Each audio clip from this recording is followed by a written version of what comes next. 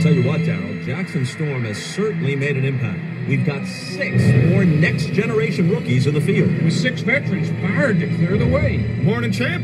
How's our living legend today? Uh, still very much alive, thank you. And I would appreciate... You know, I can't believe I get to race the Lightning McQueen in his farewell season. What are you talking about? Oh, green flag. Good luck out there, champ.